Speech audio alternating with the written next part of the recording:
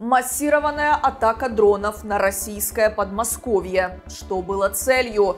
Россия не публично ищет посредников для переговоров с Украиной, а в Донецкой области зафиксированы новые продвижения оккупантов. Это итоги 10 сентября от команды новостей Донбасса. Я Кристина Терещенко, и мы начинаем.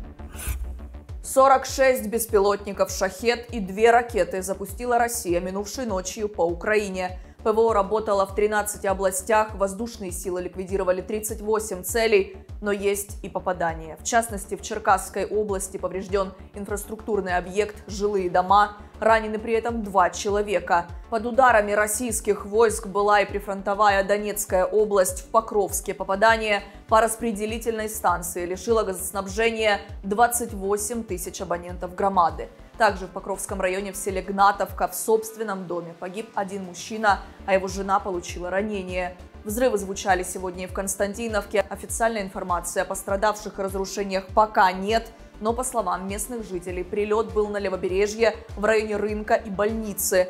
Ближе к вечеру под обстрел попал Краматорск. На момент выпуска этого видео детальной информации не было, лишь фото с поднимающимся после обстрела дымом. Как только появятся детали, мы оперативно расскажем вам в нашем телеграм-канале «Новости Донбасса».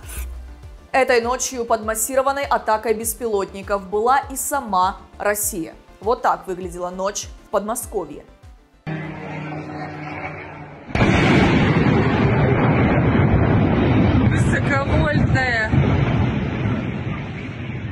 Дом рядом. И пока Минобороны РФ рапортует о ликвидации 144 воздушных целей, российские телеграм-каналы публикуют фото и видео последствий этой самой ликвидации. В городе Раменское Московской области сбитые с курса средствами РЭП беспилотники повредили два многоэтажных дома. Погибла одна женщина и три человека получили ранения. Также российское ПВО работало по беспилотникам над городами Домодедово, Коломна и над аэропортом Жуковский, на территорию которого упали обломки БПЛА. Работа аэропорта приостановлена. С самого утра пассажиров попросили ждать их рейсы на улице.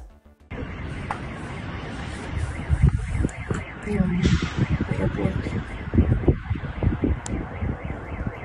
По сообщениям различных российских телеграм-каналов, десятки беспилотников пытались также сбить в Тульской, Калужской, Брянской и Липецкой областях. А мэр Москвы заявил, что минимум 12 из всех БПЛА якобы летели на столицу, но были ликвидированы. Украинская страна официально атаку дронов на Россию не комментировала, но ряд украинских военных аналитиков и экспертов сходятся во мнении, что целью беспилотников, вероятно, были военные объекты вокруг Москвы. Для понимания, это район как такой треугольник, где-то примерно 40 километров к югу Москвы. И там огромное количество военных объектов, астрономическое. Я не могу даже этих всех перечислить, но это многочисленные центры радиотехнической разведки, центры стратегической коммуникации, периферийные районы противоракетной обороны Москвы, центры просто запасные командные пункты армий, дивизий военного округа. Главный редактор издания Defense Express Олег Катков в комментарии изданию «Фокус». А экс-спикер Генштаба, полковник ВСУ Владислав Селезнев считает, что атака могла быть направлена на Жуковский аэропорт, который используется как для гражданской, так и для военной авиации. Если вы, наш зритель, находитесь на оккупированной территории или в России, где заблокированы для чтения независимые СМИ, в число которых входят и новости Донбасса, то вот вам один из способов, как обойти блокировку. Загрузите и установите браузер Sino, чтобы иметь доступ к правдивым и независимым информационным ресурсам. Инструкцию, как это сделать, мы уже оставили по ссылке в описании этого видео. Россия пытается найти посредников для переговоров с Украиной, при этом публично демонстрируя нежелание идти на контакт. Такому выводу пришли в Институте изучения войны на фоне ряда встреч российского министра иностранных дел с представителями Бразилии и Индии на полях заседания Совета сотрудничества России и стран Персидского залива в Саудовской Аравии. Кремлевские чиновники, вероятно, пытаются сформировать международные посреднические усилия по миру, демонстрируя при этом нежелание России участвовать в добросовестных переговорах с Украиной. Министерство иностранных дел России заявило, что Лавров обсуждал войну в Украине с Вьерой и Джай Шанкаром, но не предоставило подробностей.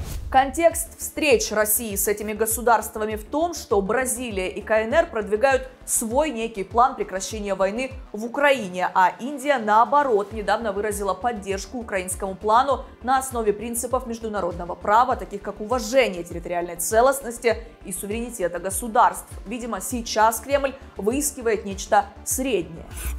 Но тем временем Россия продолжает оккупацию востока Украины, аналитики проекта Deep State фиксируют продвижение российских войск на трех направлениях в Донецкой области. Речь идет о Красногоровке, Новогродовке и Угледаре. На оккупированной территории Донецкой области под сильный обстрел попала Горловка. Одна женщина получила ранение, повреждены при этом многоквартирные дома в центральной части города, а вблизи авторынка упал дрон. Как сообщают в местных группах, осколочные повреждения получили торговые павильоны и автомобили. Все на сегодня, но больше информации 24 на 7 для вас в нашем телеграм-канале «Новости Донбасса». Такие сводки, как это, выходят с понедельника по пятницу на YouTube-канале. Обязательно подписывайтесь и включайте уведомления, чтобы не пропускать. До встречи!